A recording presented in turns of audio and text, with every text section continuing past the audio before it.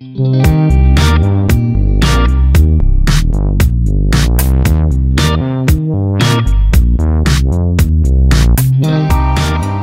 we're here at the Santa Barbara, California airport, runway 25. We're going to do a little IFR takeoff and climb to the, one of the near VORs, Gaviota. Let's brief the departure and I'll tell you what I'm going to do with the autopilot as well. First of all, our clearance reads, maintain runway heading to intercept the Gaviota 127 radial inbound, Gaviota. Climb and maintain 2000. Expect 6000 four minutes after departure. That's enough for us to accomplish our, our uh, scenario here. I should add also that this video is strictly for entertainment purposes, not to be used for real 429 training. This is the X-Plane simulator with uh, Timber 61's 429 aircraft. A wonderful job, by the way. So, we're going to learn how to use the basic autopilot modes in this, and uh, let's just press on. First of all, by basic, I mean the airspeed hold, heading hold, vertical speed hold, and altitude hold. Those are the things we're going to do.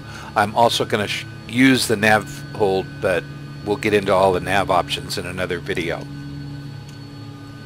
So, a couple of things to keep in mind. First of all, on the 429, the minimum IFR airspeed is 75 knots.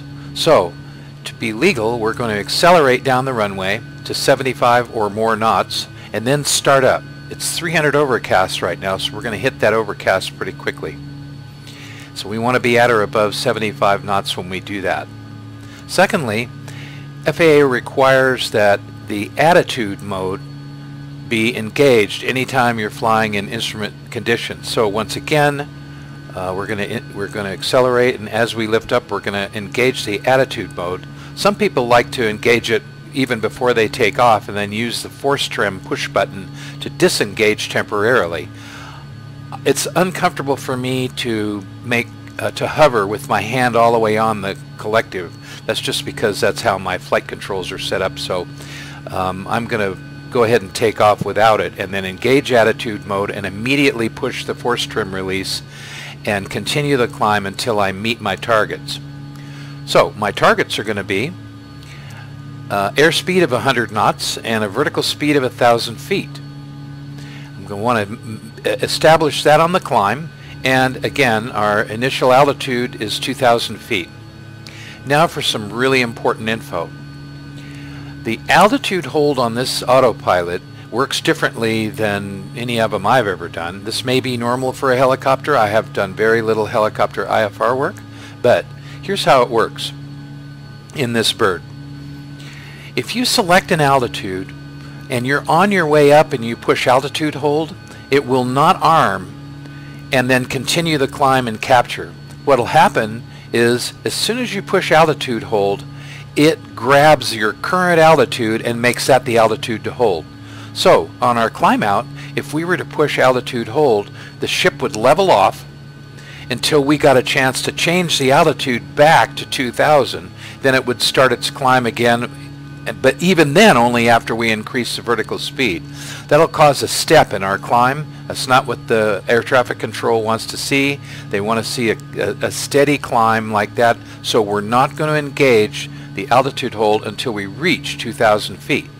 But I'll show you a trick of how to do that intercept at 2,000 feet very nicely with just using the collective to control your vertical speed. This is a nice thing that um, you can do to do that. All right, so let's get the autopilot set up for this departure. First of all, we're cleared to the Gaviota VORTAC and that's in number one nav.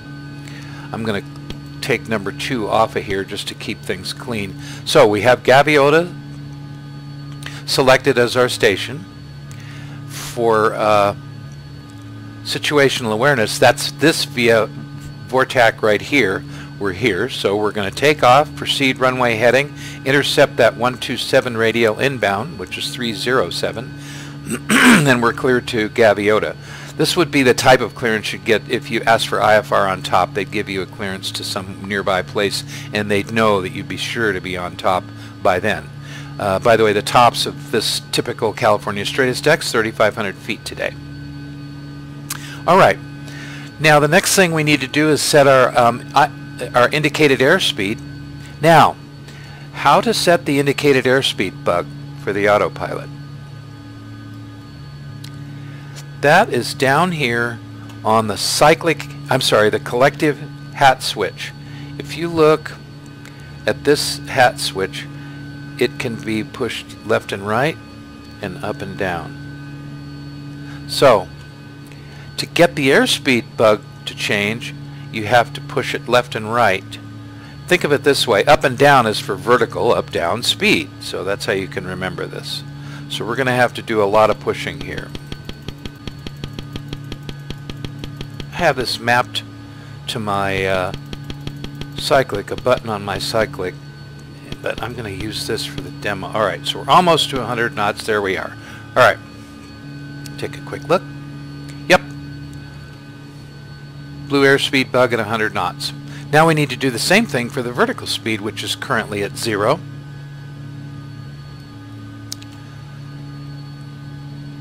Up and down, remember.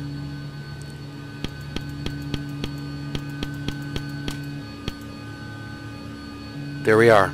All right, we have a thousand feet per minute programmed in. The next thing we have to do is set the heading bug. Remember, maintain runway heading. So to set the heading bug, you could use the dials. I am just going to, uh, it's harder for me to see this. You know, you can change it with this. But I have a thing on my stick that will synchronize the heading and that's much easier to do. So now we have the heading set.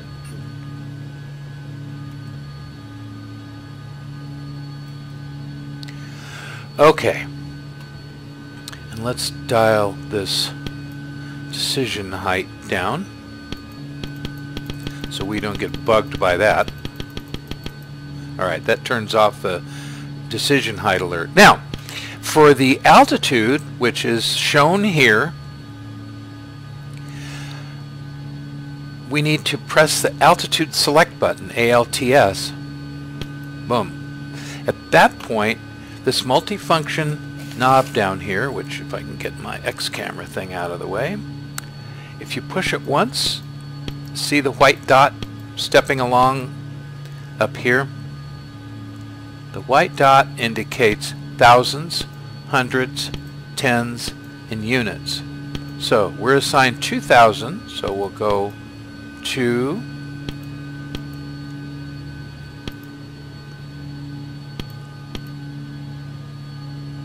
thousand. All right.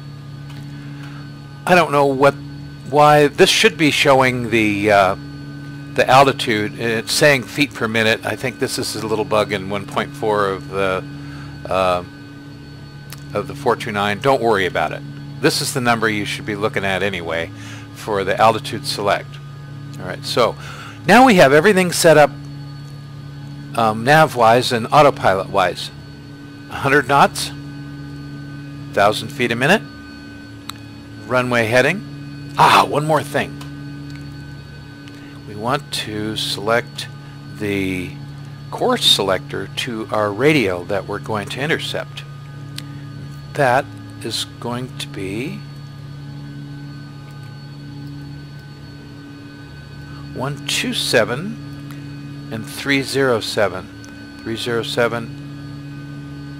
There's one two seven radial, three zero seven inbound, and as it, you can see, we're heading towards our radial that we're going to intercept. So that would be kind of more or less this one right here. It's not that's not the 127 radial, but it'll work All right. So now we're set up. This bearing pointer is pointing towards Gaviota right now. So as you can see, we're going to be uh, navigating to pull that bearing needle around clockwise until it matches up with our course, at which time this thing will come into the middle and we can navigate to the VORTAC. So, let us start our thing here.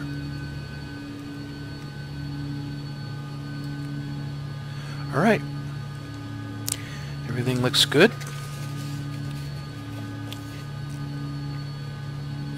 All right, now things are going to happen a little faster. Try and pay attention, and we'll see what we can get out of this.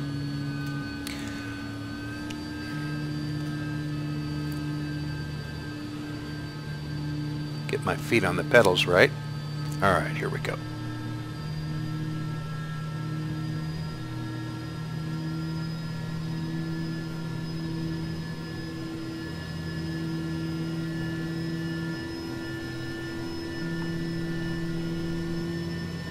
I've done better than that in the past.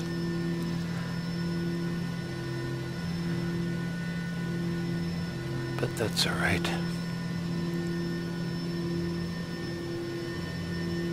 All right, a little higher maybe. And then all gauges in the green. No caution warning lights. Off we go.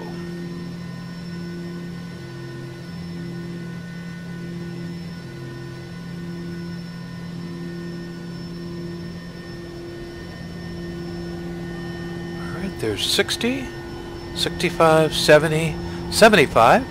Now, I engage the at. 100.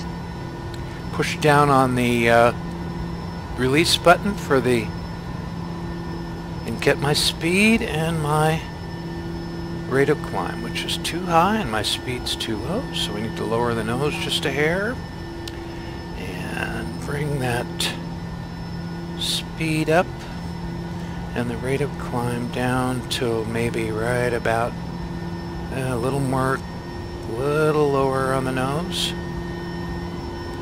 Bring the speed up. There we go. Right there's a magic number. All right, hold that attitude. Now, press the heading hold. That'll bring us back to the runway heading. The airspeed hold. That'll put us right a little over 100. And the vertical speed hold. We're on our way up, under autopilot control. I overshot the airspeed a little bit. I wandered Altitude. off the... Uh, now we're getting close to 2,000 feet, so I'm going to release the vertical speed right here. Boom. I am now in control of my vertical speed with the collective. I lower the collective. You can see it's down at 800 feet a minute. I'm going to nurse this up to 2,000 feet using the collective to control my rate of ascent, my vertical speed, I'm looking down at a keypad that I'm using to do my mode selection. So sorry about all that swinging around. Alright, as we get close to that altitude we need to be at, I am going to now lower the collective right there and press altitude hold. Oh, I overshot it by 17 feet. Let me give you a closer look at the instruments again. Okay, now you see the altitude, heading, and airspeed are all on. We're very close to our altitude. Just got an airspeed alert. And we are getting very close to our uh, radial. So I'm going to be ready on that. Let's see, where are we here?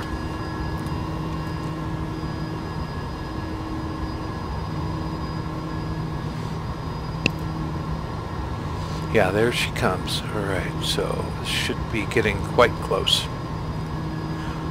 No, that's not true. I've got a I've got a ways to go. Never mind. So sorry about that. Um, let's go, we're still in the clouds. We can take a look at that here. Instruments, yes. I hope that made sense. Especially the part about using the collective to control your vertical speed by just notching off the, the vertical speed hold. It's now going to hold airspeed and hold heading and as you move the collective, you're basically controlling your, ver your vertical speed. So as you approach your selected altitude, you can um, lower the collective and creep that vertical speed down. Here comes our needle. So, whoops, that's not the one I wanted. I wanted this. I have a multi multi switch on my uh, cyclic, and that that was the view. Put the hat switch on view. All right, so we're coming around to our course. Now we're going to need to climb to uh, 6,000 feet shortly. We'll just wait until we get on course. This is a tutorial. Um, I'm easing this around. Now, I can go ahead and engage nav mode right now. And to do that, click. It just changed up here. You can see the change to VOR instead of oh, what the heck is this message now? Alright never mind. It changed to VOR we're now going to track the VOR and now the next thing we can do is do our altitude change. And I'm just going to do this without even looking outside. We don't need to change it outside. So time to go to 6,000 feet. Now what's going to happen? As soon as we dial up the 6,000 feet three, four, five, six. Let's get rid of that 17 here. And get rid of this here. Alright. Now, you can see up here the altitude came on white and the vertical speed is still the, the, this is what we're holding this is what we're gonna do we changed this so we need to change our vertical speed now look look it's back down here at zero so we need to increase the vertical speed in order for us to start our climb to 6,000 and that's what we're going to do. Up here now, this feet per minute's not right. It is now though. 2, 3, 4, 5, 6, 7, 8, 9. There's a thousand foot a minute climb and you'll see the ship starting to climb. We're getting close to being on top.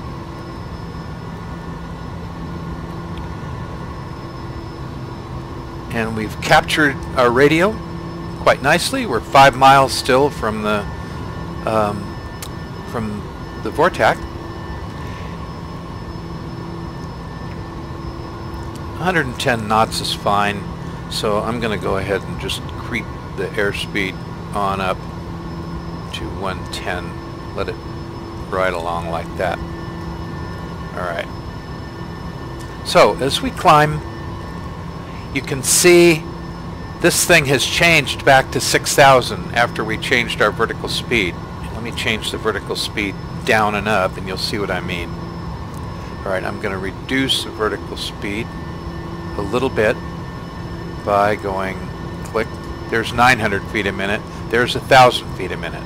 Alright, now watch. Count to 10. 5, 6, 7, 8, 9, 10.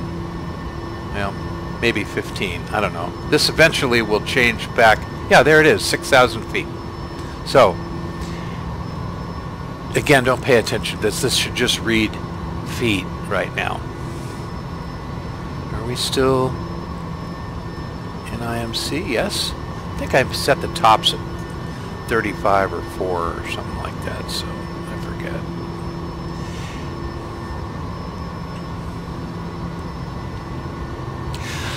So what's going to happen now that we already have altitude mode engaged and we're climbing to an altitude is as it approaches the 6,000 feet, it's going to level itself out. Ah, now we're getting close to Gaviota. So I don't want to overfly Gaviota in nav mode because it swings like crazy. So I'm going to switch us back to heading mode. Click. All right. That now reads heading.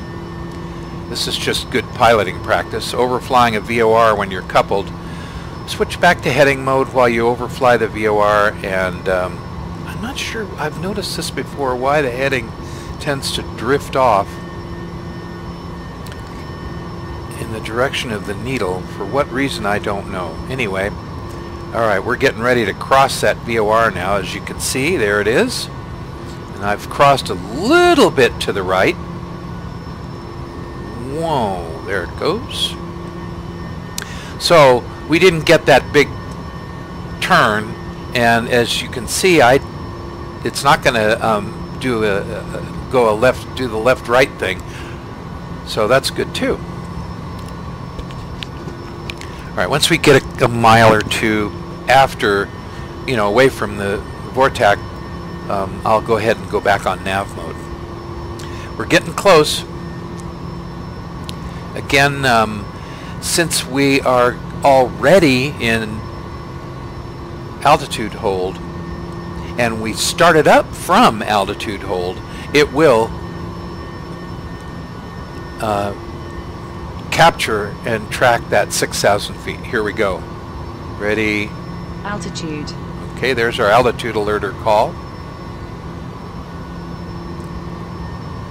And I can probably switch back to nav mode now. We're a couple miles past it. Boom. Okay. VOR. And this changed to altitude almost at exactly the same time. It's now in capture mode. It's starting to bring down the vertical speed.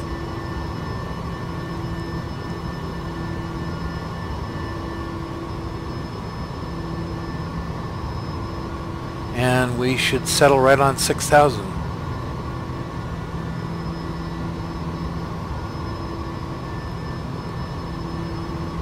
All right. see where we are here. Ah, yes, we are on top. Looks like the clouds are higher than what I set them at, but oh well.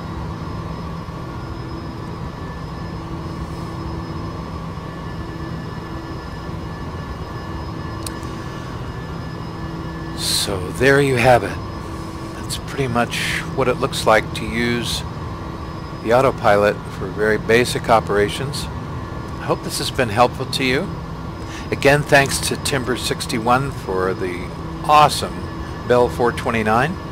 And finally, again, this is strictly for entertainment purposes, not to be used for flight training on the 429. All right. Well, thank you very much for watching. Let's go outside for a minute and see what it looks like.